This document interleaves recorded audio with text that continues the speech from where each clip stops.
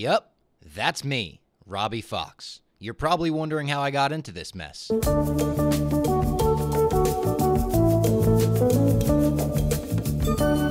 champ is here. The champ is here. The champ is here. It's Robbie Fox with Barstool Sports at American Top Team in Coconut Creek, Florida, ahead of MMA's richest night, PFL Championship night. $6 million on the line in six title fights. It all goes down on Black Friday, November 25th at 8 p.m. Eastern on ESPN pay-per-view. And in the main event, Kayla Harrison will take on Larissa Pacheco for the third time. Kayla's beat her twice already, both by decision. She's been one of the few fighters in MMA that Kayla isn't able to finish. On the other hand, Larissa's beaten everyone not named Kayla Harrison, and she's looking to prove herself towards something like her legacy in this title fight. I can't wait. I'm gonna go join Kayla in the gym in just a second, but I gotta get a little fight ready first. All right, obviously this hair is gonna get in my face if I get in a cage with her, so go get some fighter braids put in.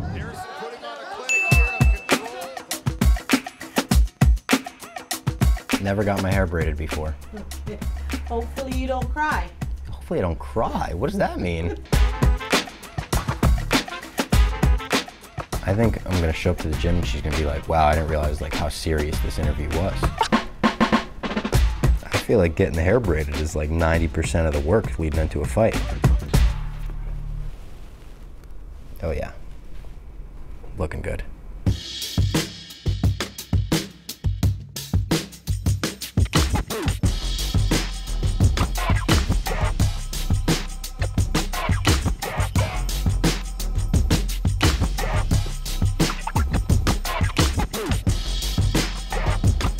Kayla Harrison, Oh, Robbie. what's going on? What's up, kid? Great to see you. Good to see you too. I got the braids on, I'm fight ready. Yeah, you gonna show me a thing or two? I can, yeah, if you want me to. Okay, come on. Let's welcome to my uh, welcome to my world.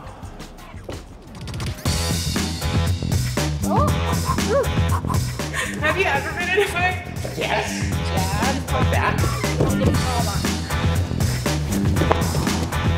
He's gonna get it, guys. He's gonna get it. Boom. Yeah.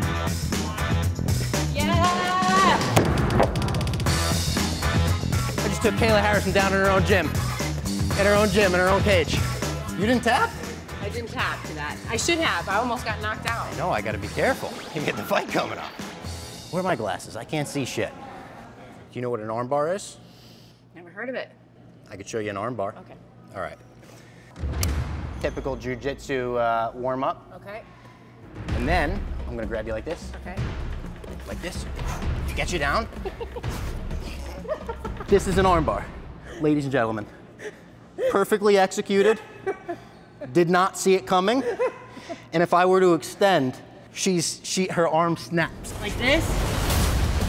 You can't get me with my own move. I Can't. No.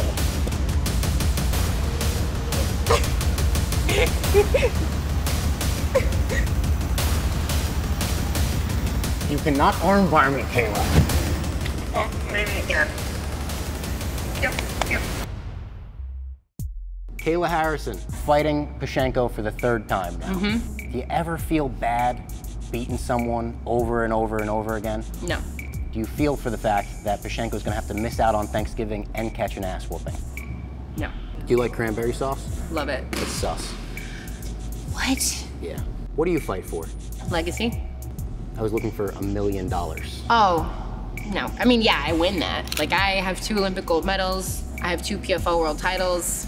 I get in a cage and I fight because it's what I love and I want to see how far I can go. And this is your final season with the PFL in the season format, unless, of course, you decide to pull a Tom Brady and unretire on our asses. Do you plan to pull a Tom Brady I'm not retiring. I'm just not going to do the from the season. season you are? Yeah, yeah. I mean, unless something crazy happens and. Uh, Like we- if you wanted to pull a Tom Brady.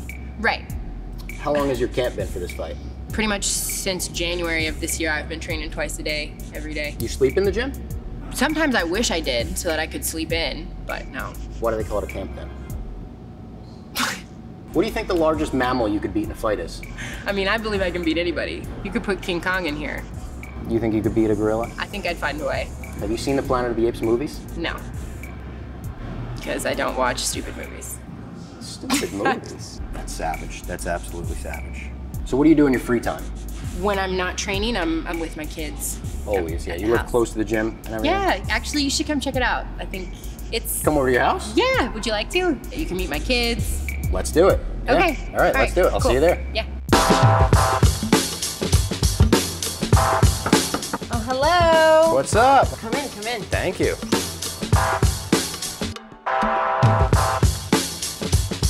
So glad you're here. Actually, I could use a little bit of help uh, out in the barn with the chickens.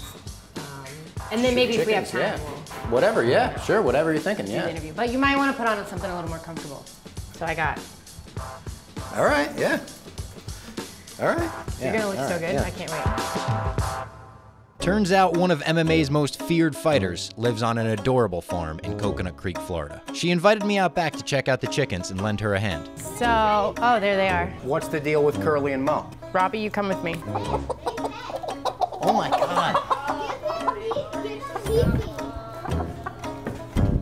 This one's the crazy one. Oh my goodness. This one's freaking out a little too. Did you know that? Chickens are the closest relatives to dinosaurs, trained killers. I'm gonna put them down, and then I want you to try and catch them again.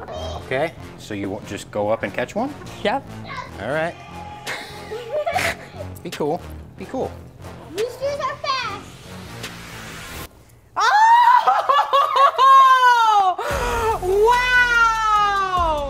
Okay, round of applause. That round of is applause. He is a, a rooster catching for the ages. He's not a natural fighter, but he's That a was natural that farmer. was that was pretty good. natural born That was pretty good. I'm so impressed Whoa. right now. All right, we're done doing yard work, done working on the farm, here to talk about the fight. You've done this before, you've made it to the finals before, you've won the championships before. Do you feel any kind of different pressure this time around? No, I mean I've already I've already beaten this girl twice. What is she good at? Like, how would you describe her as a fighter? I think she's strong, powerful. You know, she's a heavy hitter. She's got a lot of confidence. She's coming off five straight knockouts. One of the few women that you haven't finished in the cage. Is that the goal this time? You, you want to really put an exclamation mark on it? Yeah, TKO, KO, or submission for sure. You mentioned legacy, you fight for legacy. What is that legacy that you want to leave? I'm chasing greatness. I'm chasing the best possible version of myself. Every day I wake up and I want to be the best mother I can be, the best daughter I can be, the best fighter I can be. And it's not me against Larissa in that cage, it's me against me. You know, when I step in that cage, that's when I feel the most Kayla. Would you ever allow your kids to follow in your footsteps? No. That's a definite no. I mean, they're really gonna have to love it. Like, it's gonna have to be like a burning, burning desire. Okay, now that the kids are gone, has Yeah. anyone ever shit themselves in the ring with you? Uh, not to my knowledge. I'll just be brutally honest with you. Sometimes, like, you're if you're like fighting or something like that, and like, what if you fart or what if you? Have you, ever know? done that?